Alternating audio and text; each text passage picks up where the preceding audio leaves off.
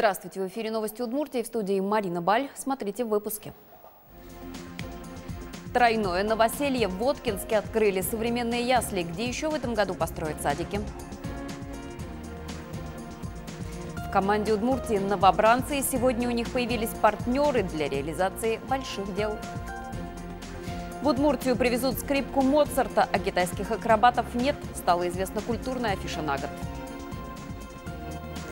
Их история любви набрала больше всех лайков. Знакомьтесь с победителями конкурса ко дню влюбленных.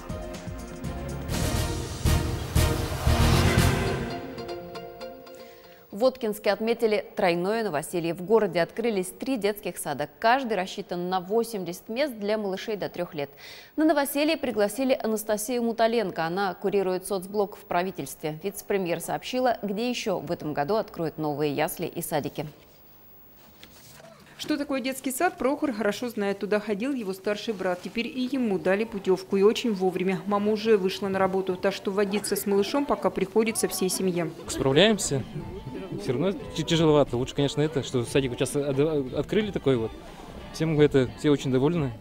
Этот новый детский сад в Воткинске построили по национальному проекту. И он не единственный. Сегодня в городе открыли еще два. Всего Воткинск получил дополнительно 240 мест для малышей до трех лет. Надо сказать, что мы полностью завершили строительство этих яслей, получили положительные заключения надзорных органов. И они у нас реально начинают сегодня работать, потому что выдача путевок фактически сегодня заканчивается. И с понедельника мы уже в полном составе приступаем к работе. Путевку в детский сад дали и Кириллу. Сегодня он с мамой и папой здесь на экскурсии. От игрушек не оторваться. Ему очень нравится. Машинки катать вообще очень нравится. Каждую группу, объясняют педагоги, комплектовали с учетом образовательной программы. Так что получились не просто игровые комнаты, а целая развивающая среда. Вот здесь у нас находятся сюжетно-ролевые игры. Игры «Семья», «Парикмахерская», игры «Больница». Для девочек есть гладильные доски, утюги. Можно сварить кашу, накормить кукол, своих друзей. Также у нас в группе уголок уединения уединение, где ребеночек может сесть, он уже устал, он хочет посидеть, отдохнуть, поиграть со своими любимыми игрушками. Эти детские сады построены по типовому проекту, по которому возводились объекты и в других населенных пунктах республики. Но каждый, отмечает вице-премьер, отличается деталями. Так, в игре установили фильтры под окнами, чтобы в группах всегда был свежий воздух.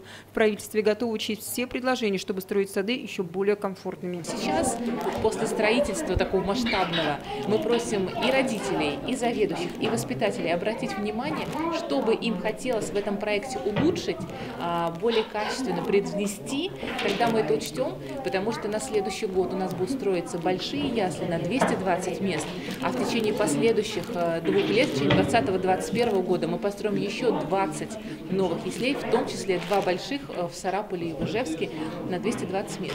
В Воткинске тоже появится еще два детских сада. Один сдают уже в этом году, строительство второго запланировано на следующем. Оксана Худякова, Юрий Зелененький. Новости. В Ижевске сегодня возле садиков случился рейд. Сотрудники ГИБДД проверяли родителей, водителей. Было установлено правилами перевозки детей. Взрослые пренебрегают. С начала года уже 75 водителей были оштрафованы за то, что везли детей без автокресла или не пристегнутыми. Сегодня в ходе рейда инспекторы не только выписывали протоколы, но и проводили профилактическую беседу и напоминали о размере штрафа за неправильную перевозку детей до 3000 рублей. А активисты Союза потребителей сегодня снова проверяли, чем кормят детей в садиках. В столице уже год работает независимый общественный проект «Честные продукты детям». За это время специалисты взяли в детских садах около 40 проб молочной продукции. Из них 30% забраковали. Что было с тем фальсификатом, который э, нашли? Uh, у нас два производителя было оштрафовано на общую сумму, по-моему, на, на полмиллиона рублей. И а, было закрыто два производства. Один завод в Самаре, а, по итогам нашей работы там а, нашли большое производство сливочного масла, там спред производили. И буквально в январе месяце совместно уже с ФСБ здесь в Ижевске тоже закрыли производство сливочного масла. Благодаря работе общественников в городе ужесточили систему закупок продуктов в детские сады. Теперь дошкольные организации могут в одностороннем порядке расторгать контракты с подозрительными поставщиками, а недобросовестные компании отстраняются от новых тендеров. Этот опыт уже вызвал интерес в других российских регионах. Проект «Честные продукты детям» может стать федеральным. Совместно с Россельхознадзором практику независимых общественных проверок в садиках и школах планируют начать в других субъектах страны.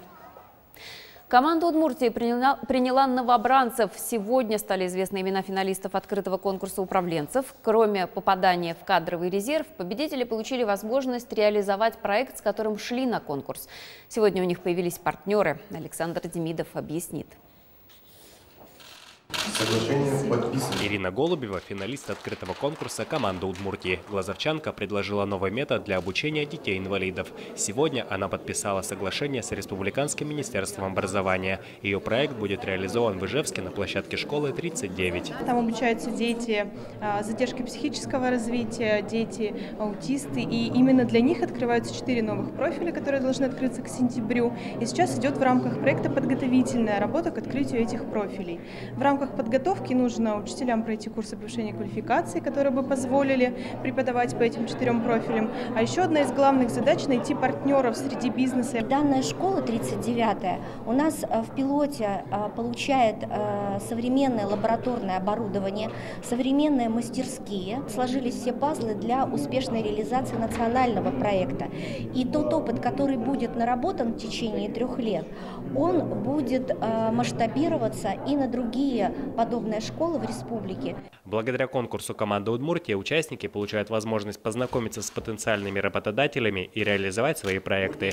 Например, партнером Гульнары Плотниковой выступила администрация Ижевска. Ее идея – провести масштабный гастрономический фестиваль ко дню города. Наш проект – это про многообразие национальностей Удмуртской республики. И мы хотим показать, что кухня – это очень яркая ее составляющая. К юбилею государственности, к юбилею города нашего любимого в день города начнется он и будет продолжаться несколько, там, три дня. Давно хотелось показать самобытность нашего э, народа. Всего договоры с партнерами подписали шесть финалистов конкурса. Он проводится в регионе уже второй раз. Это еще раз э, сигнал о том, что мы не заканчиваем просто мероприятием, подведением итогом и вручением грамоты ценных подарков, а работа продолжается и заявленные цели на развитие Удмуртии, они все-таки формализуются. Администрация главы правительства и правительство в целом выступает неким таким куратором проекта, который обеспечивает административную поддержку.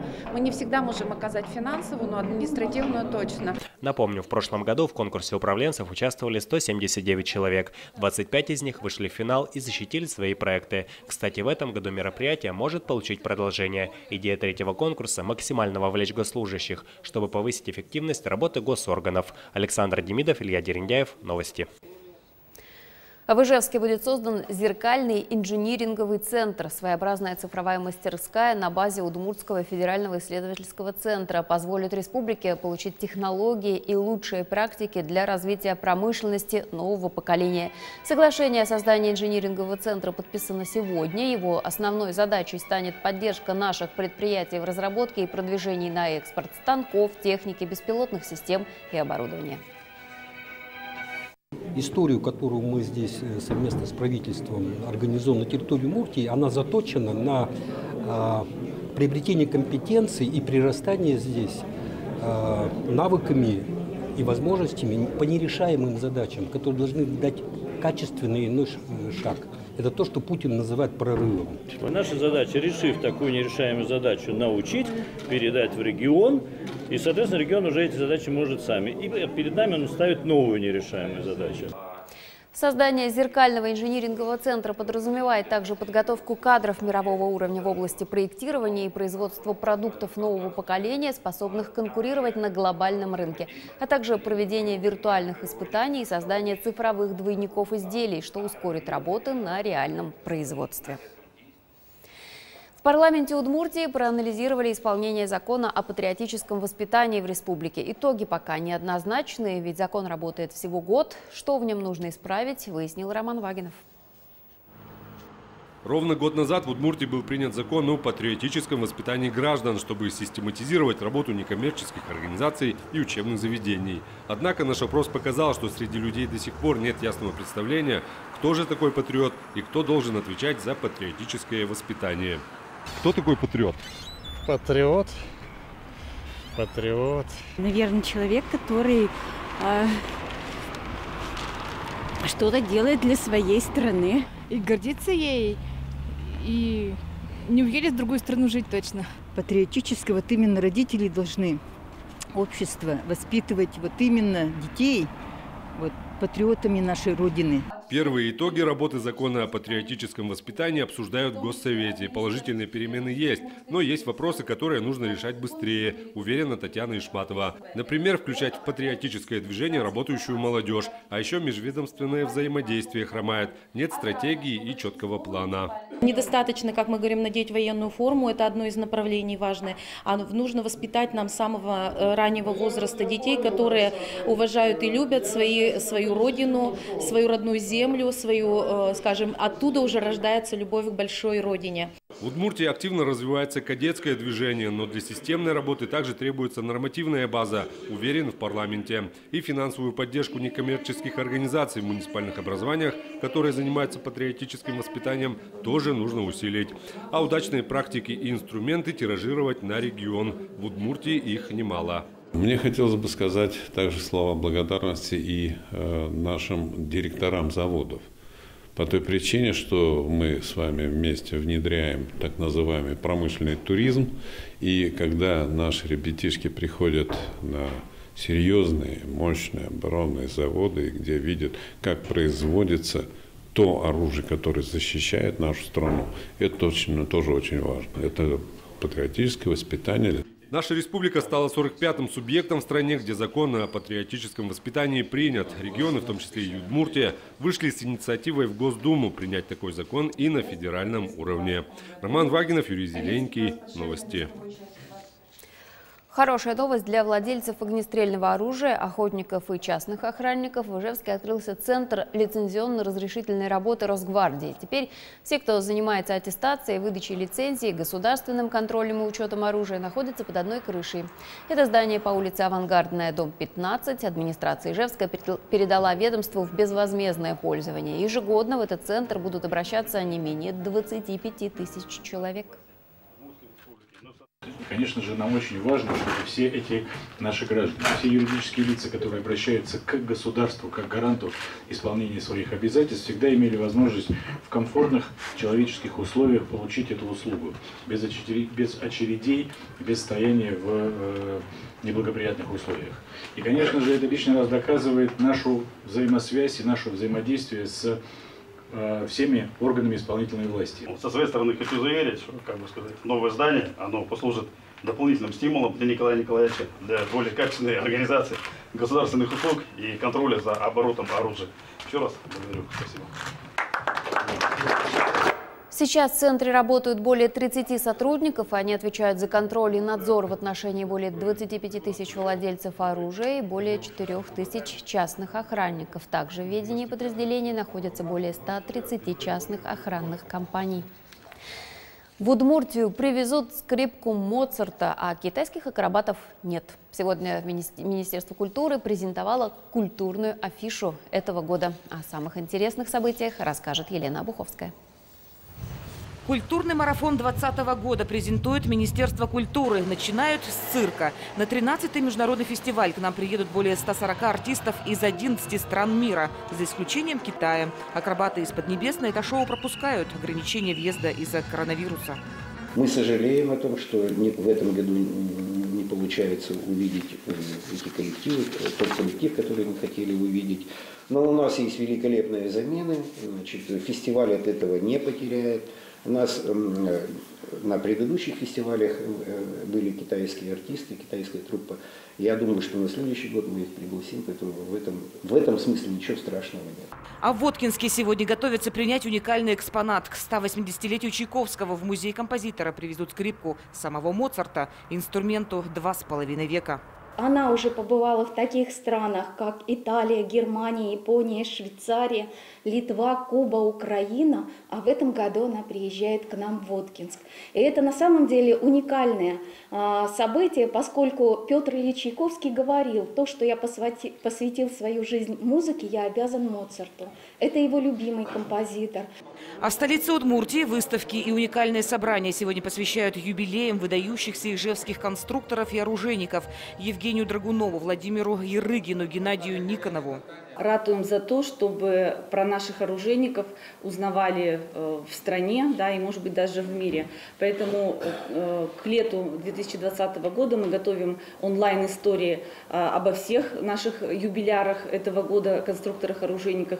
И эти онлайн-выставки в онлайн-формате будут представлены на армии 2020. А еще в этом году в Удмуртии продолжатся большие гастроли. Это общероссийская театральная программа. Ее цель – сделать искусство доступным. В этот раз в Ижевск ждут сатирикон Аркадия Райкина. Вывести сатирикон в Ижевск – это не так просто.